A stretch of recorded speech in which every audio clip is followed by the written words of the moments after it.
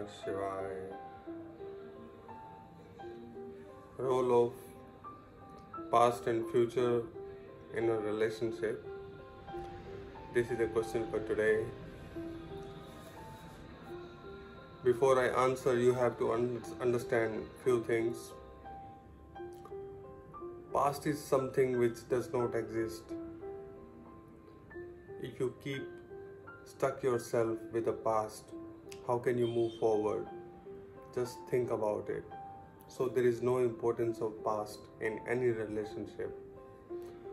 Maybe you have made some mistakes, but who doesn't?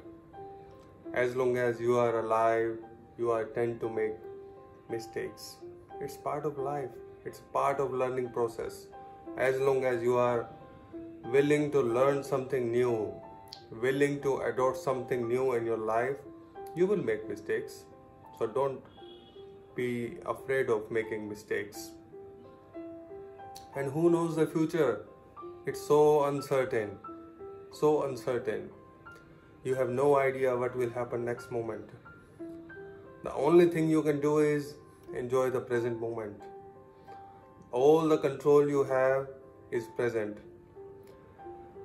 And when you start to enjoy the present moment with your partner, I'm telling you that will be the best moment ever you will find in your life. That will be the most beautiful time. So forget about the past, forget about the future. The only existence is the present time where you are right now. So try to bring yourself, try to pull yourself back from the past, from the future, and be in a present. Don't carry the burden of past all the time with you. Just leave it, let it go. Let it go. It's gone. Try to understand. It's no more. So don't carry on its burden and it will make you heavy, you know. And uh, when you are not able to leave sometime the memories of past, it pollute your present time. It does not give you happy moments it does not let you enjoy the present time. So you have to be smart enough, you have to be courageous enough to leave it and adopt something new. Life is so beautiful.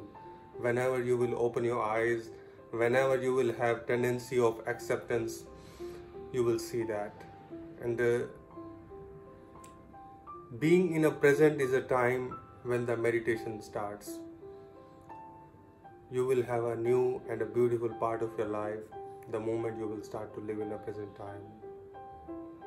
I hope you enjoy every moment of your life while living in the present. Thank you so much. Om Namah Shivaya.